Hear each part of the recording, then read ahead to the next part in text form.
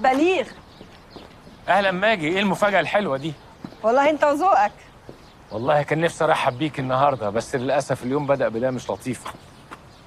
النهارده بس؟ ما أنت أول امبارح كنت نايم على البرج. الله أنت متابعاني بقى. لو كنت عرفت وقتها كنت رحت لك وجبت لك معايا عيش وحلاوة. ده يبقى أحلى عيش وحلاوة في الدنيا. طمني قريب هيحصل. بس على الله ما يكونش بسبب البنت الجديدة اللي أنت خنتها وكسرت قلبها يا قاسي بنت إيه انت هتتبلي عليا؟ هتبلى عليك ليه؟ اسمها ياسمين صاحبة بنت أخوك. جات لي واشتكت لي منك. تبكل بليغ. نفس اللي حصل مع فريدة. انت هو أنا ناقص.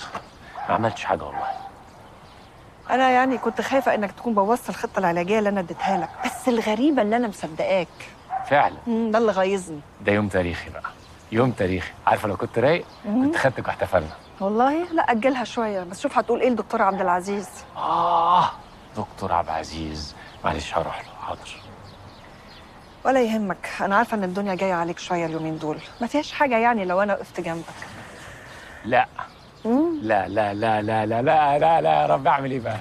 لا لا ده أكيد حلم أكيد حلم معقولة؟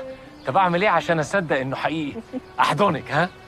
بليغ ما- فيهاش حاجة لو حضنتك ما فيهاش حاجة. بقول لك إيه؟ بس بس اسمعي بس اسمعي. أنا لو حضنتك هنعرف الكيمياء بينا ماشية ولا لأ؟ عشان ما نلبسش في حيطة بعد كده. كيمياء؟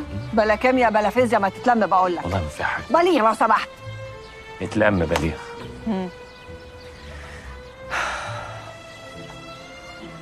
بص يا ابني هي الحياة كده هونها تهون إن شاء الله تنام وتصحى تلاقي كل حاجة بقت زي الفل.